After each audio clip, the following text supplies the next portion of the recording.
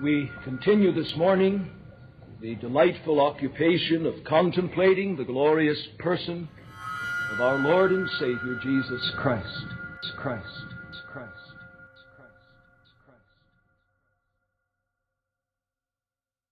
We saw that the unanimous testimony of all the biblical writers in that period of manifestation is that Jesus Christ, who was known to be truly God, was also truly man.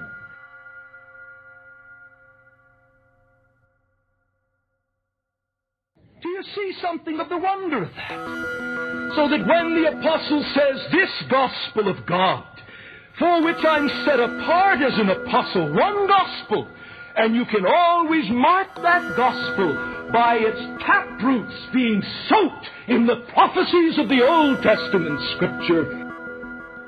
And there is but one, there is but one, there is but one who fills those prophecies, not only manifesting that he was El Gibbor, the mighty God, but he was indeed the child born. Because Jesus Christ is a true man.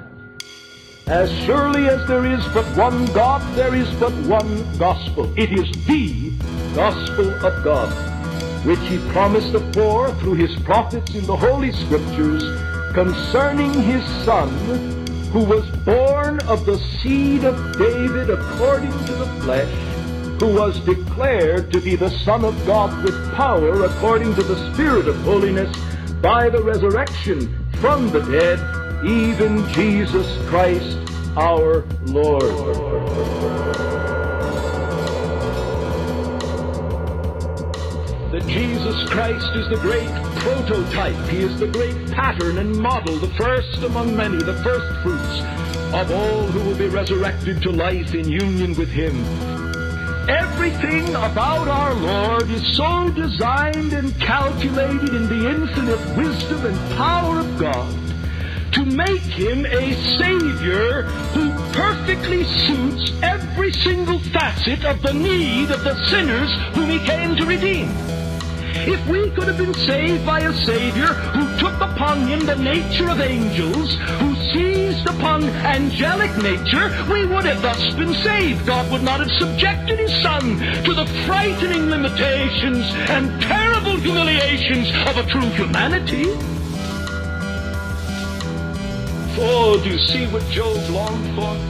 He said, God was too far beyond me. If only there was one was near enough to God to lay his hand upon him, near enough to me to lay his hand upon me and resolve this present dilemma, then the longing of my heart would be answered. Thank God. There is a mesites. There is an umpire. There is a days. Thank God. There is a mesites. There is an umpire. There is a an umpire. There is a. Thank God. There is a Christ to the Bible.